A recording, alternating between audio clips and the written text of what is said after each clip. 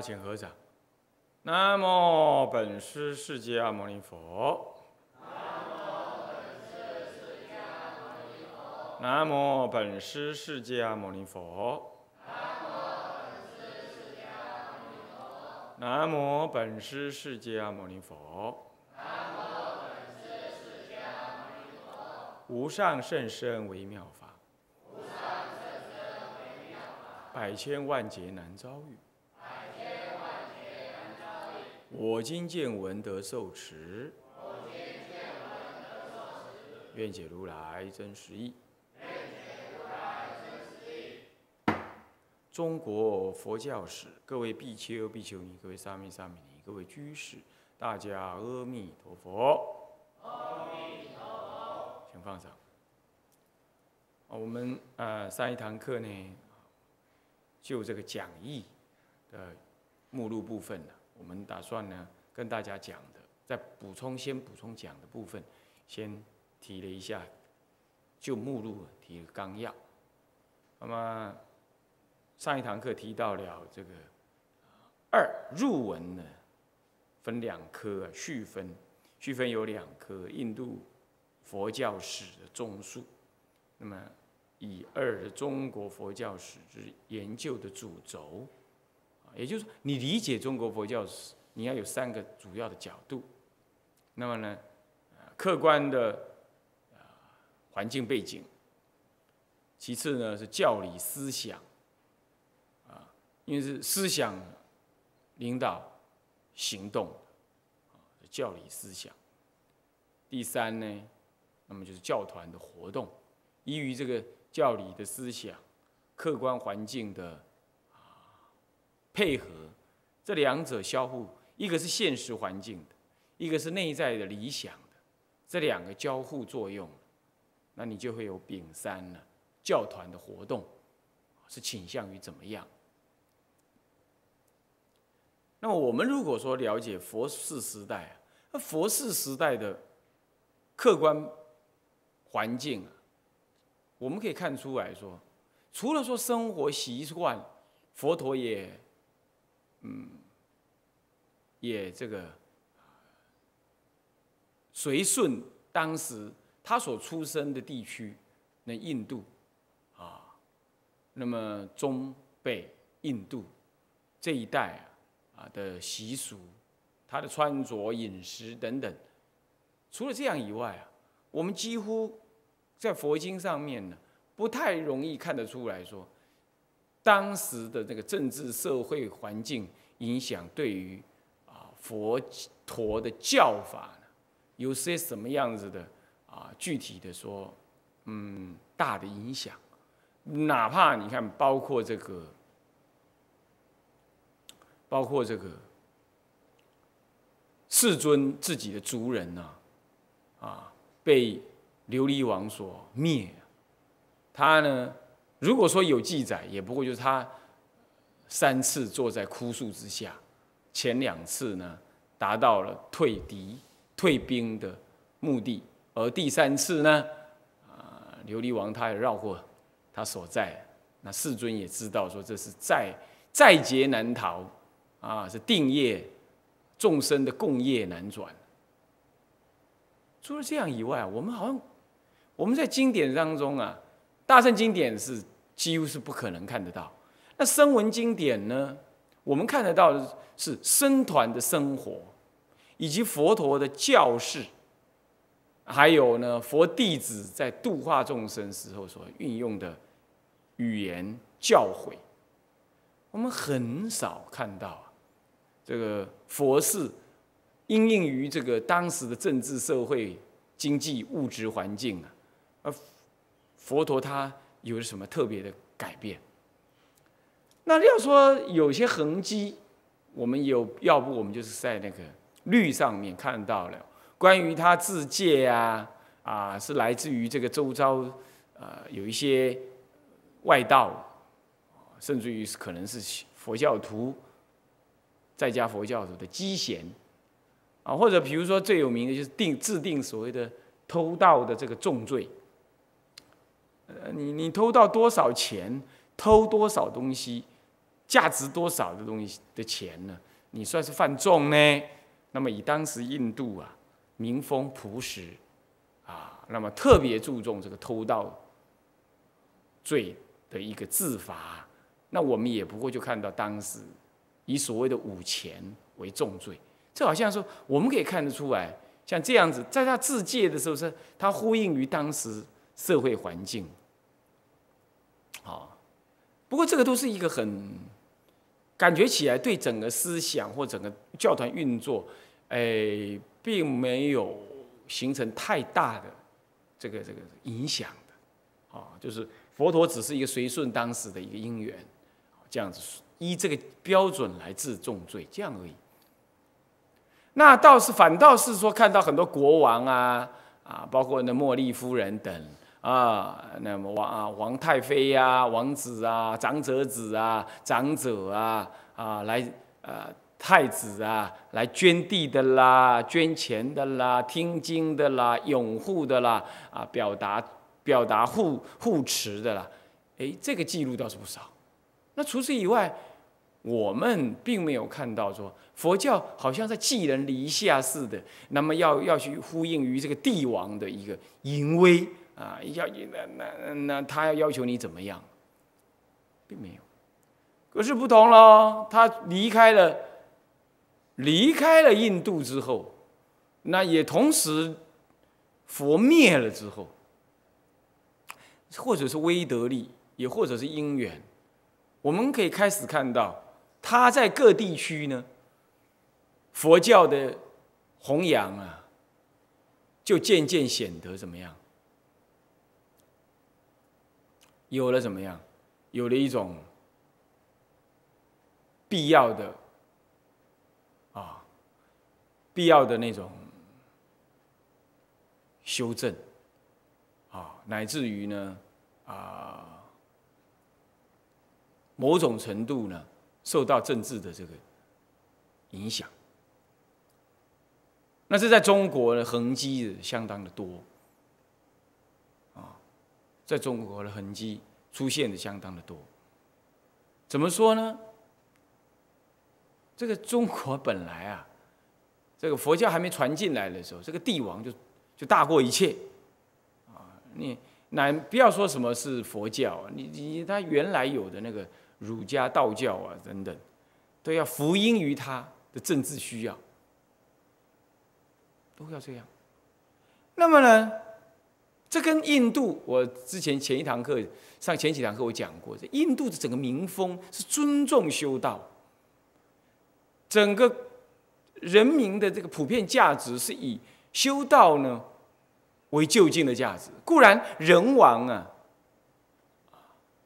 人王啊，这个是统治所谓的政治势力范围，也运作着他的政治势力。可是对于修道，他保持了高度的敬重，而修道人也，呃，也很完整的表现出他不与政治呢相勾结的这种、这种、这种我是方外之人的样子。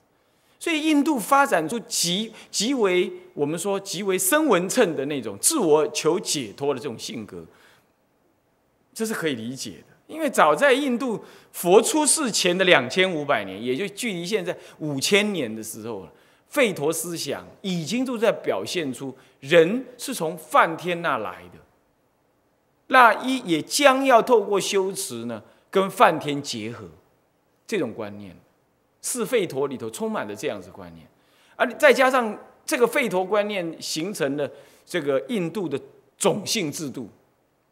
所以，印度的社会阶级早就已经建立了，透过宗教的方式已经建立了，就四吠陀，呃，是四四种阶级，啊，这个这个祭司的阶级，政治人物、武士的阶级、士农工商的阶级，那再加上一个低层的劳动人民啊，甚至于是那种屠夫啊、奴隶这种阶级，这种阶级一建立了、固定了之后呢，其实。帝王，你说出来，那他又能怎么样？你要知道啊，四阶级当中，帝王不是最高啊，祭司才是最高啊，对不对？所以说，你帝王出现的时候，他统治这政治的同时，他必须要跟祭司保持某一种某一种权力跟呃地位的相互平衡跟协调。这在中国不是这样的，中国没有先天的一个宗教来制定、来来来建立的人的这人的这种。人民的这种阶级观念没有，那那由谁来呢？枪杆子、武力，谁当皇帝呢？那那个人自封为天子，哼，然后他呢，他将一切的权力从他以下开始划分，哼，那这个时候他怎么容许？有另外一个，即便是宗教团体，跟他挑战，跟他平起平坐，或者他需要跟他妥协呢？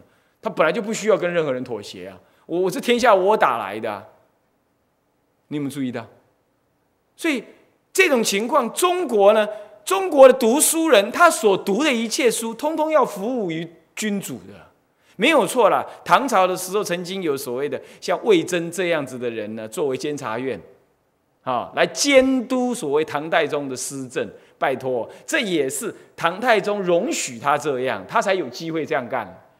啊，皇恩浩浩。呃，这是因为当今皇上圣明，呃，那才容才容得下魏征这种人讲几句话呀，是不是啊？那他不是一个长久的制度，更不是一个人民的一个基本的思想标准，不是的。所以你看看魏征之后还有谁呀？啊，唐太宗之后还有谁呢？他自己唐朝都不一定还有这种人能够出现，然后勇于勇于去说皇帝的什么过失。何况这完全是人治的行为，对不对？所以中国一向就是以政治最大。你要知道，那这种情况啊，跟印度的基本风俗又不同。诸位这样体会得到了没有？体会到这种差异了没有？那这那这样子优劣好坏，一个宗教环境发展的优劣好坏，马上就知道了，马上就知道了。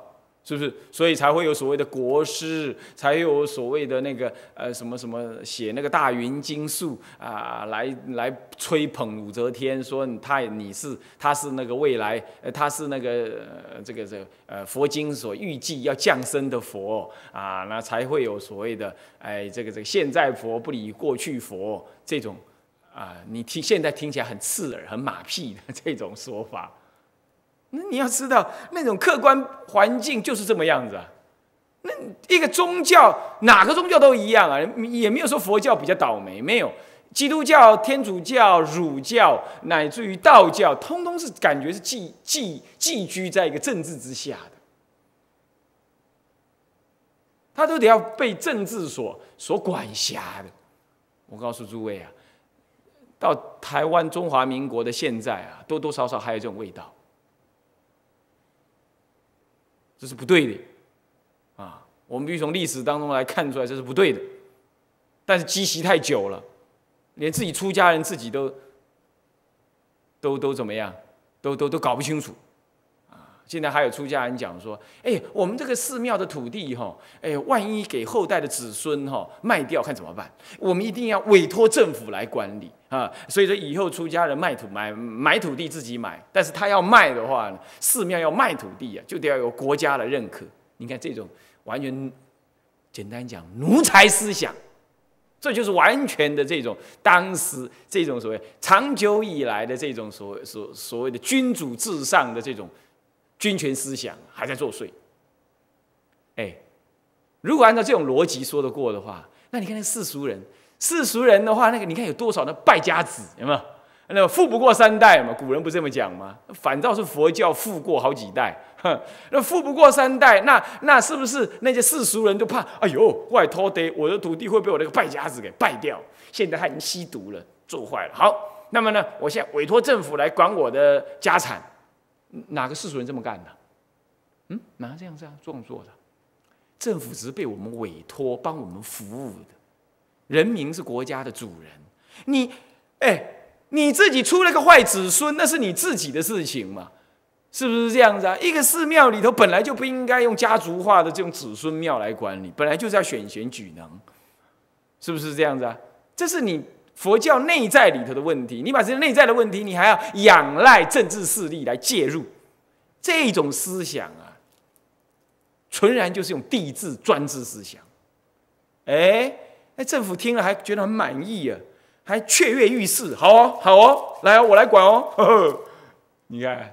这个在一一搭一唱啊，这个这个是实在是，这就是搞不清楚状况。出家人自己也搞不清楚状况。那世俗人、世俗的政政客，他本来就是想要抓权力的嘛。你给他权力，他还他他不喊乐啊？他乐得很嘞，高兴的很嘞，是不是啊？这就是一种客观背景环境的不同所造成的长期出家人自己的内在颠倒。你不从历史当中你去看。这是一个文化问题了，你要知道，这已经形成一种文化了。诸位，中国佛教一直卡在一个政治环境大过一切、政治势力强过一切、政治正确高过一切的这种、这种、这种环境里，其实到今天还都这样，这是很不恰当的。佛陀。固然没有叫我们要去反或者怎么样，但佛陀他他原来出现在印度的时候，他的环境并不是这样，所以他发展出一种很方外的、互不相干扰的这样子一个佛教的一个很好的环境跟发展的模式。我们今天要遵照佛的模式来过生活，我们就要尽量的不去跟政治呢怎么样搭上关系。尽量不要这样。其实到现在还有很多的长老，以他跟或者他曾经跟呃这个政治有多么好的关系呢，而啊 这个沾沾自喜的在那说。那这个当然就是那种社，就是寄人篱下、不得不低头的这种环境啊。有时候你也只能说啊，就这回事儿。可是民主了啊，对不对？台湾号称讲民主了。那么以民为主，那好歹宗教这么长久，没有政治之前就已经有宗教了。你好歹你得让宗教自主吧。那你说有些其他的宗教说通通有那种反政府的倾向，你别担心，佛教绝不会这样。佛教只是要让自己好好活着，这样就好了。佛教不会去反政府。嗯，佛教到哪个地方去，他都基本上只是照顾人民的内心。事实上，他都会。他都是帮助那个国家的政府为主的啦。可是大部分的政客是害怕佛教，害怕宗教的势力，因为宗教的领导人他他依于道德，他可以他可以怎么样？他可以动用这个人民的意志，确实是这样。不过佛教即便有这样，他也不用这种方式，不用这种宗教的赋予的这种这种权利，或者说这种特别的力量啊。拿来去跟政府、政政任何的政府对抗，佛教从来就没这个习习惯，也没这个习气。在印度那个时代，其实也有恶王，从来我们没有看到哪一部经上面佛陀说人民们要觉醒，要来反对这个恶政府。佛教从来不这样，佛陀一直注意的就是人民内心的疾苦，注意的是这个问题。那你说，那内心的疾苦，那万一政治有压迫，不是内心更疾苦吗？佛陀告诉我们的是，从内在里解脱，绝对是重要于从外界去改变。你说好，外界政治不不不压迫，那你就快乐，无有是处。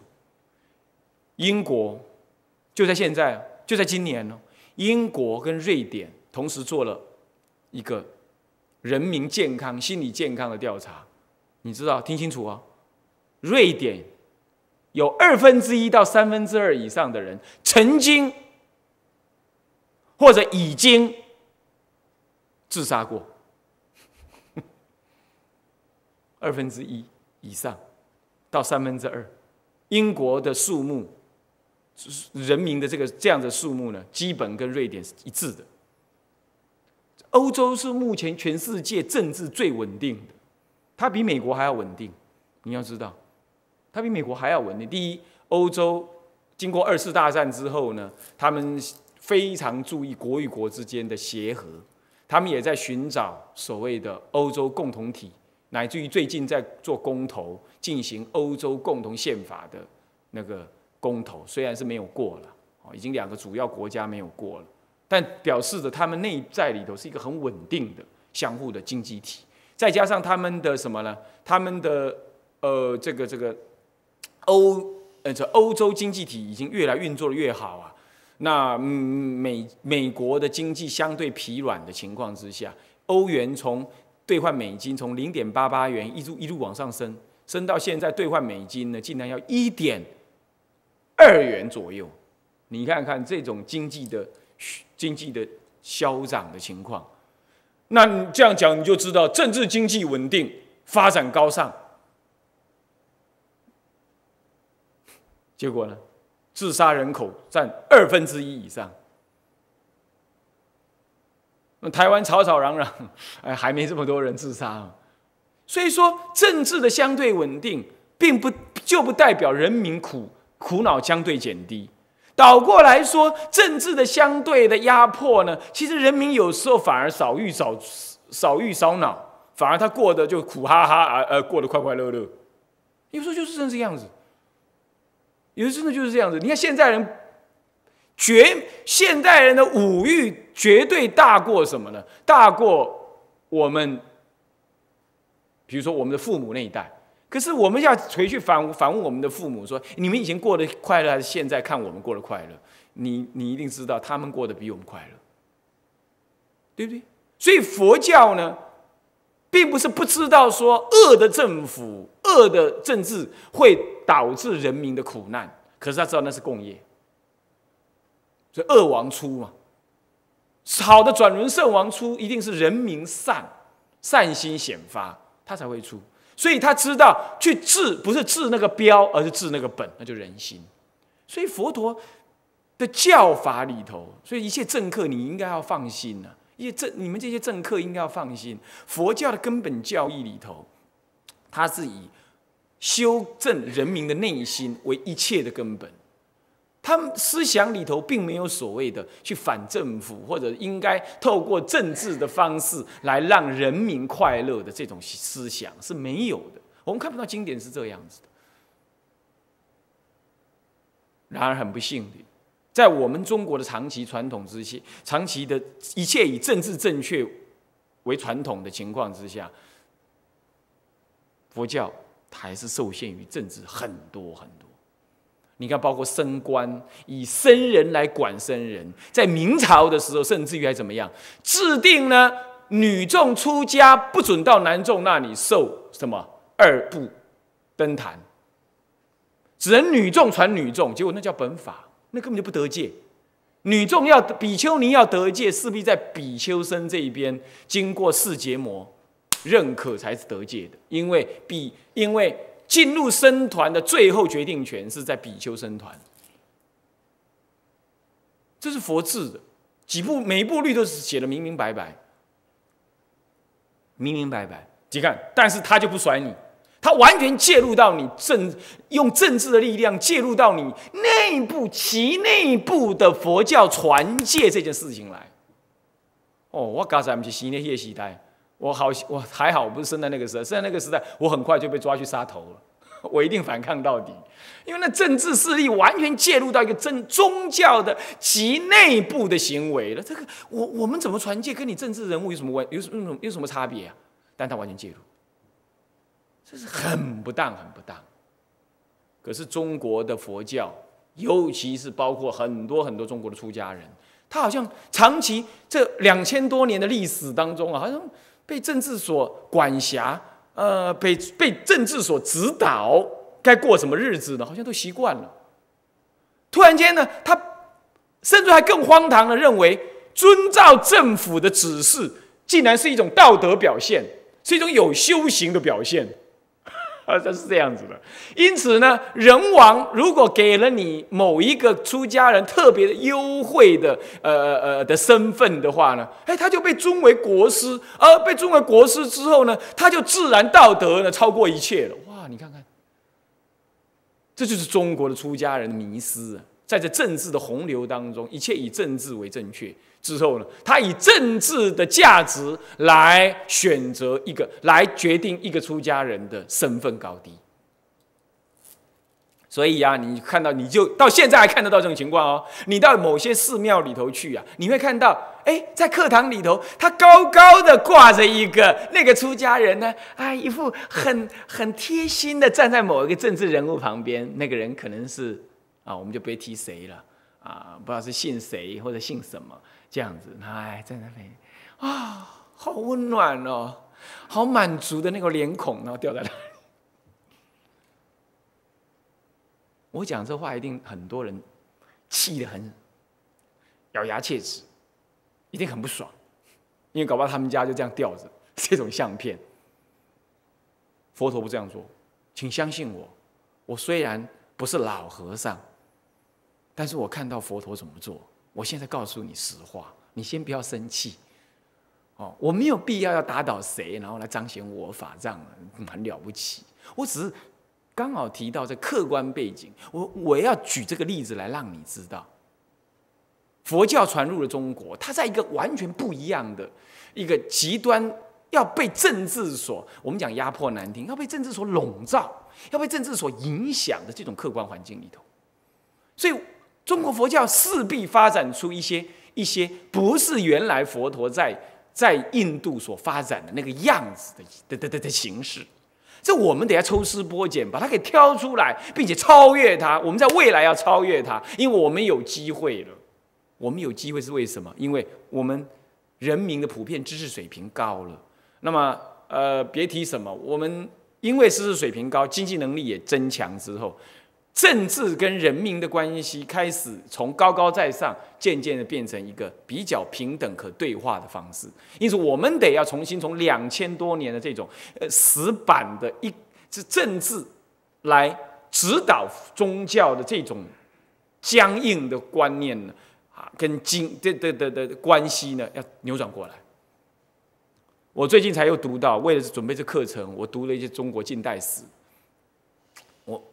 呃，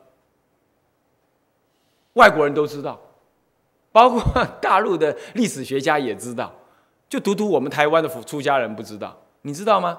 中国佛教会也是在我说中国佛教会啊，台湾的中国佛教有个叫做中国佛教会的，你们知道吗？啊啊，中国佛教会呢来台湾，在民国五十呃六十几年吧，奉国民党之命进行内部改组。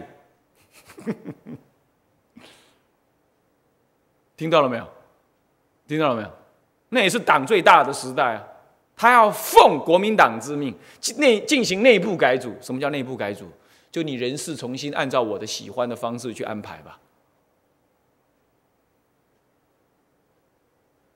民国六十年的事情，距离现在才三十年以内的事，这样知道了吗？所以说，这种这种客观环境的影响，一直以来两千年来就一直在那影响，它已经深深的形成一种文化。醒过来，我们出家人自己要醒过来。我们没有要反抗什么，我们只是说这样不当，这样用人的思维、用政治的势力来影响了一个这么好的一个觉性的宗教的一个发展是不当的，因为佛教不会伤害任何人。佛教不打算推倒什么东西，他也不会用他宗教的方式去凝聚什么人力，然后来对抗什么。如果这样做的，那都是偏，那都是旁门左道的作风。正统的佛教永远就不是这样，不是因为佛教害怕政治迫害，害怕政治所以隔爱，不是，是因为他根本教义就告诉我们，一切都以人心的真善为第一要求。修道人就是。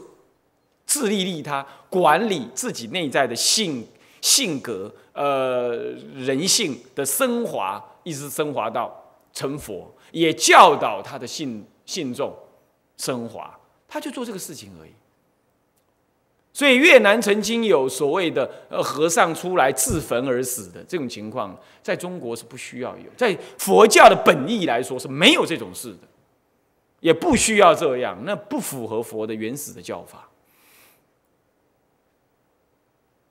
你也不用担心台湾会中国的佛教会出这样子的的的和尚，这不不当，这并不当，并不恰当，并不恰当。以三世因果来说，今天你反他，是反现在的他，那搞那那他怎么能够这样来来来来来统治你呢？那有过去的因缘呢，是不是这样的？你你反他，等到大家重新再来投胎的时候，定啊，所以说这个都应该要将这个这个。问题看在一个过去的因果关系来建立，所以佛教不会动用他的宗教势力来进行这种动作。那这样，如果你能了解这样，那因此也不一不当用政治的力量来介入到佛教及内部的事情，这实在不太不太恰当，不恰当啊，并不恰当。不过这有个前提。这有时候也有个前提，那就是说，出家人自己得要头脑清楚啊，是不是啊？我我刚刚不讲了吗？出家人自己头脑没清楚，他自己呢，自己这内部内部也教育不好，然后呢乱乱成一团，啊，自己也贪爱名利等等。那出家不像出家，然后你又你又享有社会上的一种尊重的身份，人家当然就觊觎你了，人家当然就看不起你，然后你只是呢。冠冕堂皇的这个这个寺庙的建筑，然后你道德有限，呃，然后呢，然后的莫名其妙的介入政治，然后你还影响影响影响这个政治的运作，比如说选票啦，或者是一个国家的政策等等，你要去动用这样，人家开始就，人人家就想了不不愉快了嘛，我不惹你，你惹我，那那那不行，那我也要我也要想办法来处理你，啊，你要先把手伸出去打人家的。身体，那人家当然就要制制定你了。所以说，这个当然也有例外。也就是说，你出家人自己要守好本分。那这点呢，务必大家也要清楚，这都要从历史当中来了解。所以，清醒，从历史的这个客观背景当中，我们一定要觉悟，在今天这个时代，出家人应该怎么样自处。所以。这个呢，这个我们当我们提到的时候，我们在任何时候，我们都会在多在遇到有这方面的课题，我们都会提。所以说，研究中国佛教史呢，这个客观背景、客观，尤其以以特别是那个政治的那种运作、帝王的意志啊，特别会影响到佛教的发展。你比如说梁武帝。哦，人人家佛教界普遍都说：“哎呀，那个梁武帝哦，那个那个是真的是个人王哦，呃，他是一个好的佛教徒哦。”你觉得呢？在我们今天标准来看，不尽然。他就干好他的皇帝就好了，他干嘛那么那么多事？是不是这样子啊？呃，他甚至规定出家要怎么修行哎，啊，做什么早晚课，他甚至这样规定，是不是啊？所以说这个呢。在今天的标准来，它是不当的。不过在那个时候，可能他有他不得已的方必要性，也说不定。怎么讲呢？因为那当时的人民可能桀骜不驯，很没有知识，然后透过这种帝王的势力呢，来给予制定一个标准之后呢，然后，大家就形成了一种共同的价值，然后来互相约束，这有可能，这是有可能。不过就是说，时代开始不同的时候，出家人自己要知道，你你你你这个这个权柄要自己拿回来，而且要自己做，要自己负责任，不然这还得了？最有名的例子，智尔大师时代，你看智尔大师就不一样了。智尔大师时代呢，他的弟子后来的隋炀帝啊，后来的隋炀帝啊，然后呢，当时是嗯杨坚嘛。好，然后呢，呃，曾经跟他讲说，他那个时候已经是扬州的主要，整个整个扬州都是他管辖。然后他看到扬州当时出家人很多，可是也有一些怪怪的。然后他从别的地方看到，他是从南京调下来的，调到这里来，要准备他父亲。当然了，那是历史的说法了，就是父亲准备拔擢他，让他接帝位的。那在这种情况，在那个，在这个时候，他就提了一个议，他说：“嘿，我们应该杀太沙门，杀太杀太，就是说去胎了，沙子呢，不好的沙子，把它把它太除掉，也就是说，运用政治的方式呢，来太除，这是是假和尚，不好的出家人，呃，没修行的出家人。他提出这个意见，智尔大师马上就跟他讲，他是他师父啊，他可是很有很很有很有主见，而且也很有骨气哈。我们智者大师，他马上跟他讲说，不行，出家人自有出家人的功德因缘，那么呢，我们都应该要呃这个平等恭敬，呃。哪怕是要淘汰不好的出家人，这应当由出家人自己来进行，他才停止了这个。不然他后来是很残忍的一个帝王啊！你要知道，哦，那他他要是这个这个皇这个这个智者大师，要是像现在的出家人这样子，呃，逢迎拍马的话，那还好啊，可以呀，反正开不到他嘛，是不是这样子？那也很有道理，因为当时确实有不好的出家人很多，此例一开，那还得了？啊，将来要要有个帝王，他突然间哎，反正国家相安无事，或者是觉得今天出家人太多了，呃，这个这个他要来减少一点，他就可以想个道理，弄个标准来说，哎，如果那个出家人的呃跑跑百米不能跑在十五秒之内的话，通通要还俗。那你看你怎么办，对不对？他也可以杀太杀门，他可以随便选一个标准来啊，对不对？他是皇帝呗。对不对？那古有潜力，而且还是你智者大师的弟子进行的，你看这还得了？你看看是这样的，这古来就一直是很多帝王就动动脑筋的，所以后来进行干脆他不杀太，他这个全部除掉啊，用三五一宗，那那这这另另当别论。所以这件事情你务必，身为现代的出家人，已经在一个习现代的环境之下了，要把你的心眼打开。啊，要把你的历史的眼光打开，来看一看这当中曾经发生了什么事。不过我们只能提，真正我们在讲的时候，怎么遇到的时候，就是提一些了。哦，没办法全部，因为两千的历史这种案例太多太多了，太多了啊。好，那么呢，教理思想，这个教理思想也是很重要的一个主轴。怎么说？我们在。我们在读历史，佛教历史的时候，有时候我们是片段的读，大部分都是读者是属于一种断代史式的。它是一个通史，我们读的当然是通史。我们会用的这部呃佛教中国佛教史概说的这部书，是呃圣严长老当时在日本读书的时候翻译的。那当时日本是有五位研究中国佛教史的五位。啊，学者呢共同执笔写出来的一本精简的，当做是大学的通识，中国佛教历史通识的一一本书，它的学分就刚好差不多是四十个学分左右，好，的这么一本书。那么这样书当然叫叫通史了。可是你看看，它分成五个老师写，他们就个别在他专属的那个时代当中来写。那你你这样就可以知道，其实任何人来写都很可能落入这种。不得已的情况，也就是你得要按照时代来写这个佛教史，对不对？啊，这一时代写佛教，问题是人的思想是一贯的，所以等到你要研究思想史的时候，那就不一样。你比如研究天台思想史，或者是净度中的思想史，那从唐之前的南北朝谭鸾大师传到了这个。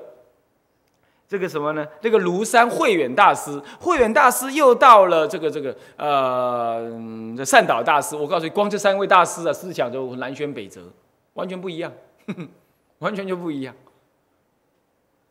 这种情况好，所以说这种情况，你说光在一个时代当中讲说啊，这个时代净土中怎么样怎么样，那那你你又能得到什么道理？你得不到什么道理。反倒是要突破这些历史呃年代的差异，你来看说，为什么谭鸾大师当时的净土宗思想没有被流传，没有被呃一直延续到这个这个这个庐山慧远大师那里呢？是交通阻碍，思想彼此不同，所学不一样，还是彼还是这彼此重点不一样？好了，又传到善导大师，因为又不一样。善导大师以后。像法照大师，哈，还有嗯，净隐寺的呃哪位大师呢？啊，名字一时忘记了，到时候再说。哦，那么他又有不一样的看法，然后一路一直传传传了，传到什么呃这个偶偶益大师，那我啊也也不一样。那到底现在我们所继承的佛教，呃，净土中的的的的的教理思想又是哪一类的呢？那它为什么当中会变那么多次呢？那这个变是什么原因造成变的呢？是一种发展呢，还是一种歧义？它各有各自独立的没落。哎，这个都是很有意义的事。你稍稍的去理解它，对于你将来修这个法门、学这门课程、学这个净土中，哎，那就意义都不一样。所以它形成了一种教理史的问题。当然，教理史要研究是另外一个历史了。啊，一般我们讲佛教通史是不急于这个，大部分在讲第三种，叫做教团活动史。啊，当时出现什么教派啊？那教派当中出现了哪些人？哪些人又怎么样子的成就？那当时有多少修行人？那跟帝王的关系怎么样？跟第一个丙一的那客观背景相互交通什么关系？大概就这样理解而已。诸位这样了解吗？可是问题是这样子是有差异，这样有点像泛光掠影的这样子这样走过去。你对于这个整个佛教里头以思想为领导的这个内涵，哎，你就可能错落掉了。这样知道了吗？所以说，思教理思想史呢，固然不是在一般的通史当中所被理解。然而，当我们要去了解中国佛教史、去做研究的时候，你一定要有一分的心力去注意到这件事情来。好，那你要再不说天台，天台教理史。它就很特别，从智尔大师出，一直到了这个九祖啊，这个金西大师，哎，这思想上就稍微有一点不同啊。然后到了这个北宋，北宋的时候呢，四明尊者，那那又那又又不一样，这又稍微有转折啊。那到了我们现在是民国，那我们要继承什么样子？当然，我们要直探本源。可是呢，这过程当中是什么样的转变？那有什么必要性没有？这你去理解了，你就会知所取舍。像这都是教理史的问题。一般在研究佛教史是不急于这一部分的，这样了解了吗？不急于这一部分。然而恰恰好，我们要从佛教历史当中去特就修行这件事情解跟行这种很直接需要上来说，教理史却往往却是最重要的。那佛教的住持怎么样操作住持才最长远久远？哎，那个就是属于客观背景跟教团活动这两部门的研究呢，给我们很大的启示。那至于内部的修解跟行、学跟修的提醒提示最重、最有价值的，倒是教理史。这样诸位教了解了没有？这样了解了没有？啊，是这样，所以它各有特殊的帮助点了啊。好，那么这个是乙啊，就是所谓的，我们就大概这样提完了啊。那么呢，呃，到了甲入文里头的甲二就正中分呢，你就分分两科，以一中国佛教史的分歧，那么乙二是分歧的略述是什么？嗯，那么是分两科。首先讲分歧，中国佛教史的分歧呢，分成分歧的方法跟分歧的内容啊。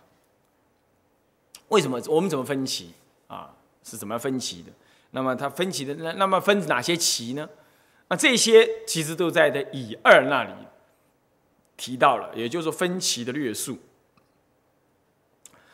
这个分歧总共我把它分成六期，这个六期是我。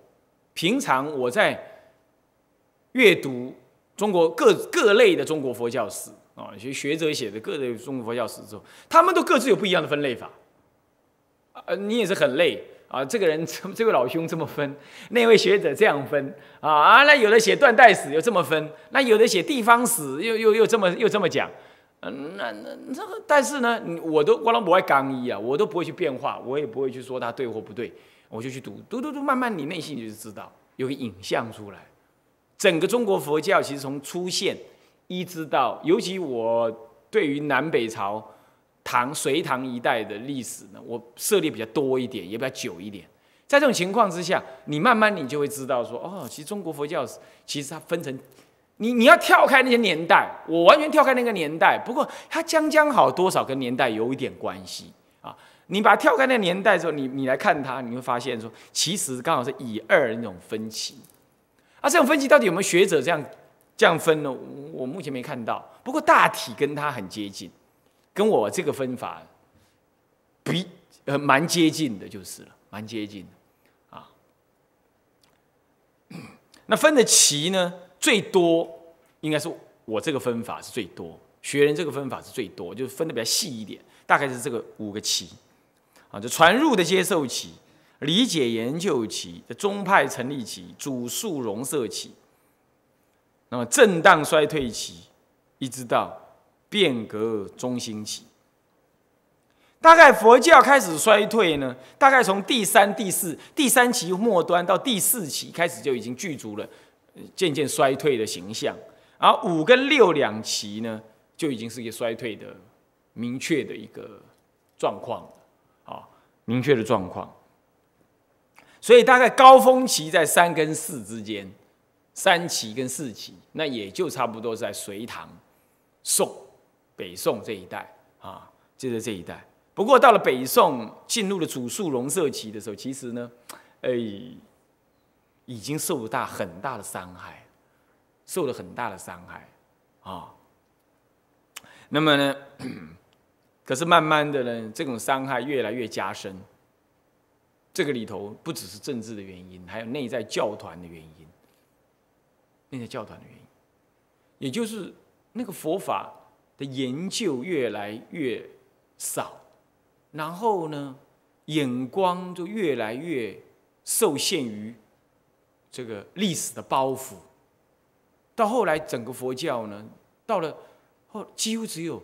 非禅即密，呃，非禅即净，不是禅宗就是密，呃，净净土宗，然后点缀着一些华呃天台宗跟华严宗，那就这样了。